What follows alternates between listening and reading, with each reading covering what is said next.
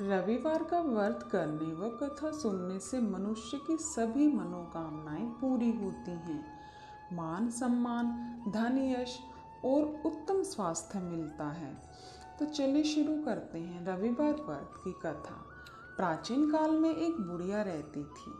वह नियमित रूप से रविवार का व्रत करती। रविवार के दिन सूर्योदय से पहले उठकर बुढ़िया स्नान आदि से निवृत्त होकर आँगन को गोबर से लीप कर स्वच्छ करती। उसके बाद सूर्य भगवान की पूजा करते हुए रविवार व्रत कथा सुनकर सूर्य भगवान का भोग लगाकर दिन में एक समय भोजन करती। सूर्य भगवान की अनुकंपा से बुढ़िया को किसी प्रकार की चिंता और कष्ट नहीं था। धीरे धीरे उसका घर धन धान्य से भर रहा था। उस बुढ़िया को सुखी होते देख उसकी पड़ोसन उससे जलने लगी। बुढ़िया ने कोई गाय नहीं पाल रखी थी, इसलिए वह अपनी पड़ोसन के आँगन में बंदी गाय का गोबर लाती थी। पड़ोसन ने कुछ सोचकर अपनी गाय को घर के भीतर बाँध दिया। रविवार को गोबर न मिलने से बुढ़िया अपना आँगन नहीं लीप सकी। आँगन न लीप पाने के कारण उस बुढ़िया ने सूर्य भगवान को भोग नहीं लगाया और उस दिन स्वयं भी भोजन नहीं किया। सूर्यास्त होने पर बुढ़िया भूखी प्यासी ही सो गई। प्रातःकाल सूर्योदय से पहले उस बुढ़िया की आँख खुली तो वह अपने घर के आँगन में सुंदर गाय और बछड़े को देखकर हैरान हो गई। गाय को आँगन में बांधकर उसने जल्दी से उसे चारा लाकर खिलाया। पड़ोसन ने उस बुढ़िया के आँगन में बंदी सुंदर गाय और बछड़े को देखा तो वह उससे और जलने लगी। तभी गाय ने सोने का गोबर किया। गोबर को देखते ही पड़ोसन की आँखें फट गई।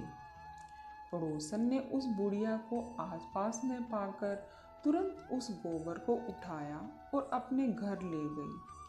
और अपनी गाय का गोबर वहाँ रखाई। सोने के गोबर से पड़ोसन कुछ दिनों में धनवान हो गई। गाय प्रतिदिन सूर्योदय से पहले सोने का गोबर किया करती थी और बुढ़िया के उठने से पहले पड़ोसन उस गोबर को उठाकर ले जाती थी।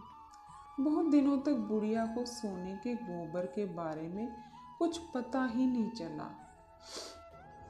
बुढ़िया पहले की ही तरह हर रविवार को भगवान सूर्य देव का व्रत करती रही और कथा सुनती रही। लेकिन सूर्य भगवान को जब पड़ोसन की चालाकी का पता चला तो उन्होंने तेज आंधी चलाई। आंधी का प्रकोप देखकर बुढ़िया ने गाय को घर के भीतर बाँध दिया। सुबह उठकर बुढ़िया ने सोने का गोबर देखा। उसे बहुत आश्चर्य हुआ। उस दिन के बाद बुढ़िया गाय को घर के भीतर ही बांधने लगी। सोने के गोबर से बुढ़िया कुछ ही दिन में बहुत धनी हो गई। उस बुढ़िया के धनी होने से पड़ोसन बुरी तरह जल भून कर राख हो गई और उसने अपने पति को समझा बुझाकर उसे नगर के राजा के पास भेज दिया। सुंदर गाय को देखकर राजा बहुत खुश हुआ। सुबह जब राजा ने सोने का गोबर देखा तो उसके आश्चर्य का ठिकाना ना रहा। उधर सूर्य भगवान को भूखी प्यासी बुढ़िया को इस तरह प्रार्थना करते देख उस पर बहुत करुणा आई। उसी रात सूर्य भगवान ने राजा को सौपन में कहा, राजन, बुढ़िया की गाय व बछड़ा तुरंत लौटा दो, नहीं तो तुम विपत्तियों का पहाड़ टूट पड़ेगा। तुम्हारा महल नष्ट हो जाएगा।